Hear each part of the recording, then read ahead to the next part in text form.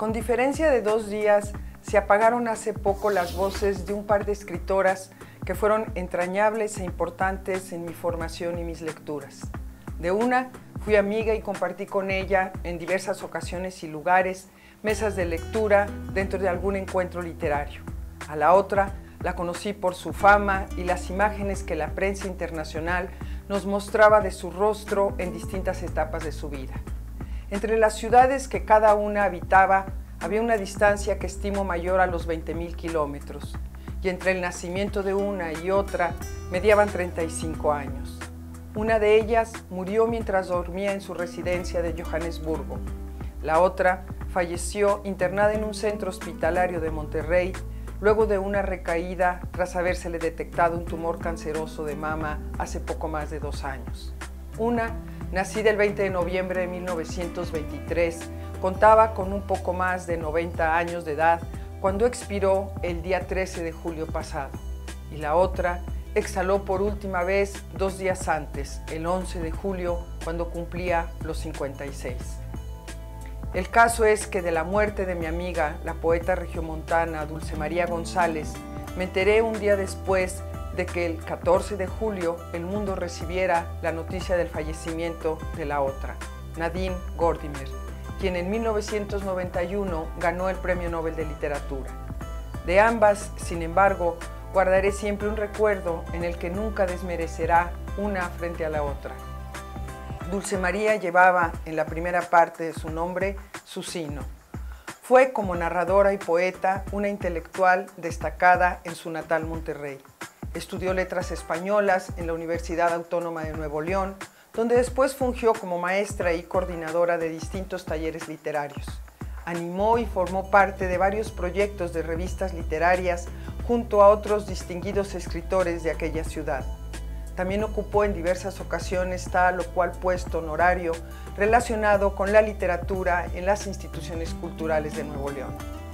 En el año de 1993 publicó su primer libro formal de ficción, Detrás de la Máscara, Cuentos por Premia y la Universidad Autónoma de Zacatecas. Luego de haber practicado el periodismo y tras incluir uno u otro texto suyo en numerosas publicaciones locales, en el 2002 mereció el Premio Nuevo León de Literatura por su novela Mercedes Luminosa. Y otros cinco libros acumuló en su obra, entre novelas, poesía, crónica y crítica teatral. La última vez que la vi fue el mes de abril del 2011. En esa ocasión, siguiendo una costumbre muy común entre escritores, intercambiamos y nos dedicamos lo último de nuestras publicaciones. Después me contó que acababa de anunciarle que el cáncer que le quejaba había desaparecido. Luego me reveló con orgullo que su única hija estaba por terminar sus estudios profesionales y desde entonces, hasta el día que me enteré de su muerte, en varias ocasiones me hice el propósito de telefonearle para saludarla e invitarla a San Luis. No lo hice y ningún sentido tiene arrepentirse ante lo irreparable. Es extraño pero a pesar de que a Nadine Gordimer nunca la tuve como compañera de mesa en algún encuentro, siempre sentí hacia ella, luego que el premio Nobel la pusiera en un sitio fundamental en la literatura contemporánea, una preferencia para nada fundada en una u otra consideración de carácter feminista.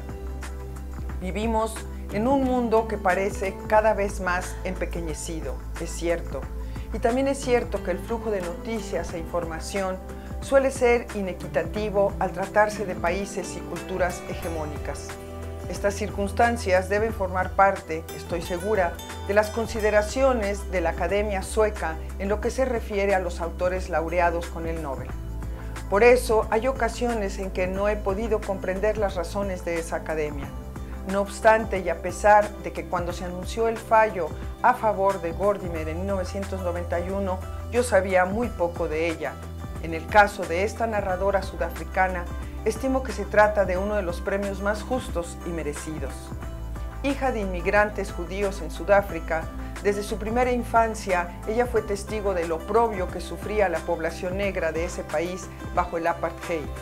De ese modo, cuando en 1962 entró en contacto con Nelson Mandela, quien ya se encontraba en prisión, su vida, sus ideas y sus cometidos literarios como narradora se transformaron radicalmente.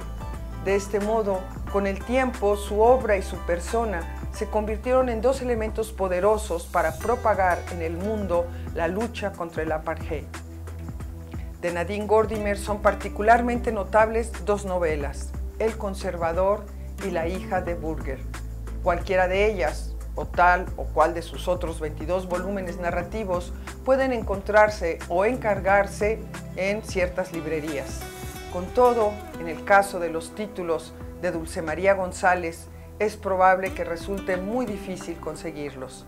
Y eso que Monterrey está a 500 kilómetros de distancia, mientras que Sudáfrica se halla al otro lado de nuestro planeta, rumbo a los mares del sur. Las hegemonías, las disparidades.